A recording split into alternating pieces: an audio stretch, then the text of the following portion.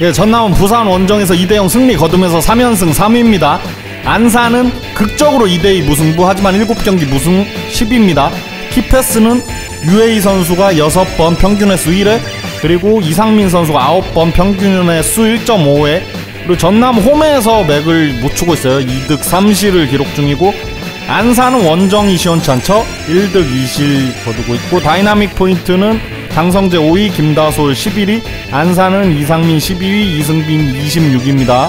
뉴챌린저 손호준 선수 수원 삼성에서 임대하점 몸값 1억으로 측정되고 있고 윤경원 선수 어, 스플리트 RNK 크로아티아에서 왔습니다. 6,600 시즌 맞대결 전적 2승 1무 1패로 전남이 1전 앞서고 최근 맞대결은 안산이 전남 원- 원정에서 3대2 승리를 거뒀습니다. 전남 키어도 코로나 이슈 대다수 확진 경기 연기를 요청했고 안산도 코로나 확진 5명 있습니다. 이번에 첫 승을 일단 거둘지 승부 예측은 무승부 보겠습니다. 감사합니다.